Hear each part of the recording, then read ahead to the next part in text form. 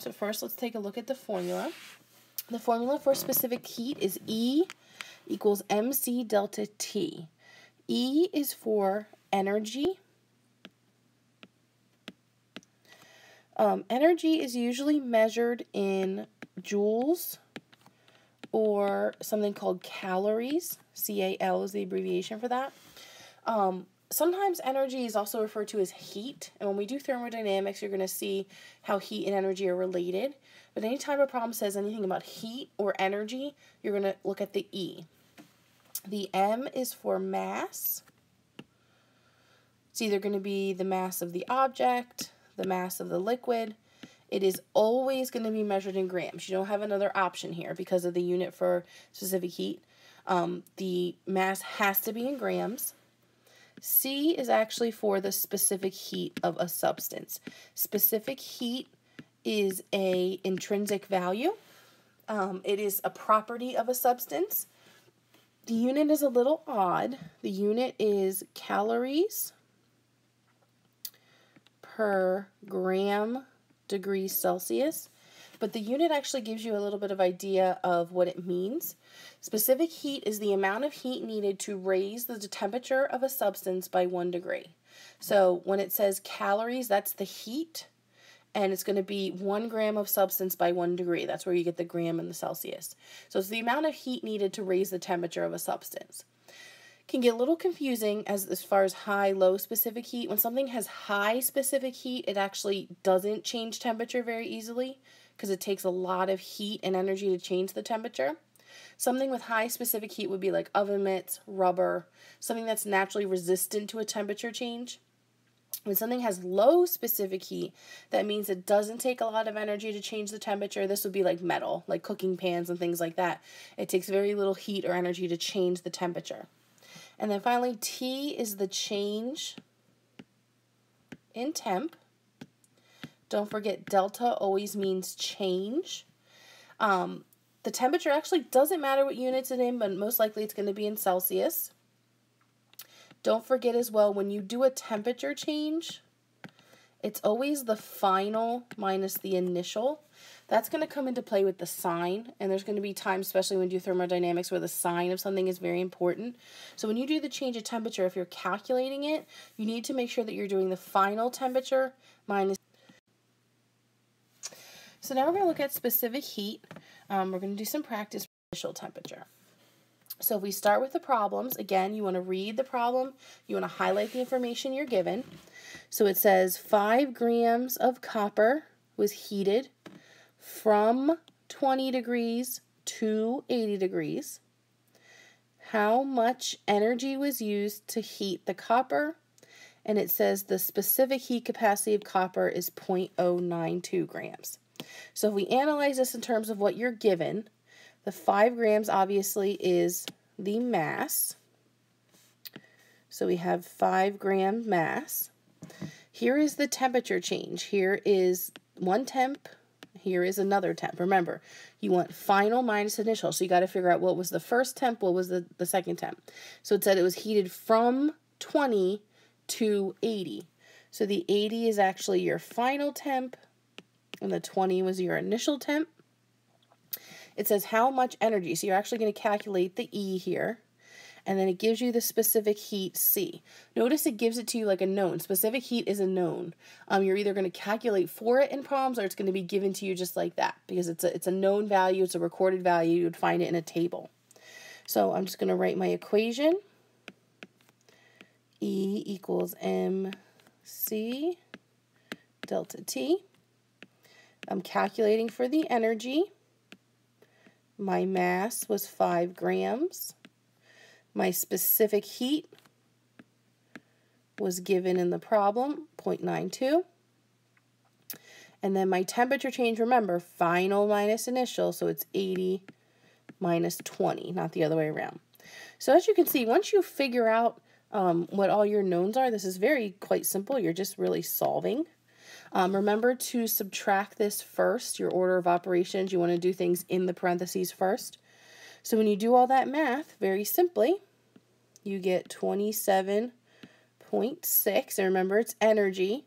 And you can see right here the energy should be calories because that's what's given. Okay, we move on to the next one. How much heat is absorbed? So remember I told you, when they talk about heat, they also mean it as energy. Heat and energy are synonymous here. By 20 grams of granite, as energy from the sun causes its temperature to change from 10 degrees to 29 degrees, the specific heat of granite is 0.1. So again, it says how much heat, that is the E. Heat and energy are interchangeable. 20 grams is your mass. Then we have a temperature change here. It goes from 10, there's your start, to 29, there's your finish. And then your specific heat is given like a known. I'm solving for my energy. Then I'm going to do MC delta T. So my mass was 20 grams. My C given in the problem was 0.1. And then I'm going to do final minus initial. So I'm going to do 29 minus 10. Remember to do that first. You're going to do all the math and you get 38 calories of heat that's exchanged. So we do the next one. How much heat, again, it's talking about heat, heat and energy are the same. When 30 grams of water at 96 degrees cools to 25 degrees, the specific heat of water is one calorie. Okay, so I'm going to plug this right into the equation here. So we have an E, a mass. So again, the temperature change, it goes at 96 and it goes to 25. So 96 would be your TI, 25 would be your TF, and then this is your specific heat. So I'm going to plug it right in the equation this time because we're solving for E again.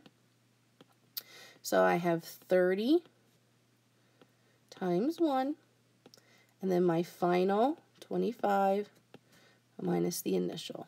So again, once you get really set on finding these um, units out and finding what they should be, it's actually not that difficult to solve these problems. We do have something interesting here though. We have a negative value here. So we get negative 2,130. Now, the negative is going to come more into play when we do thermodynamics. It kind of tells you the direction of the heat.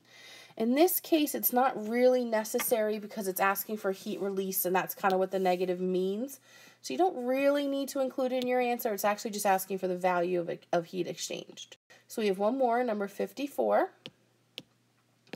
It says if a 3.1 gram ring, there's your mass, is heated using 10 calories. So now we have a different thing here. It's heated using 10 calories. It's actually giving me my E. So I have my mass here and I have my E. So it's going to be a little bit different of a problem. Temperature rises 17.9 degrees. Again, you don't have a final minus initial here. It doesn't give you a final, doesn't give you initial, it just gives you the change. That's okay. So instead of having to subtract like you've been doing, you just have the change right there. This time it wants you to calculate the specific heat. So it wants you to help calculate what the known is. Instead of giving you the known, it's giving you the E, and it's asking you to calculate the C. So I'm going to rewrite my formula here. and plug in what I know. Now I know my E is 10, so it's a little bit different setup. My mass is 3.1. Now I'm going to put a C for specific heat because that's what I'm solving for. And then 17.9 is simply the change in T. I don't have to do that subtraction there. So the only difference here is now you're kind of doing things a bit reversed. You're given the E, you're given the, the heat that's needed, and now you're trying to figure out what the specific heat is. So I'm going to do 3, kind of set this up using your algebra. So to get rid of that, to get that unit by itself, I'm going to do 3.1 times 17.9, and I get 55.49 times C. And then, you know, using my algebra skills, I'm going to get C by itself, and I calculate that C is 0.18. Remember, my unit's are really weird. It's calorie per gram degree Celsius. That's just maybe something you have to get in your head. So in this case, I actually solve for the specific heat. But you see, these problems, once you kind of figure out how to pick out the nodes from the problem, they're not that difficult.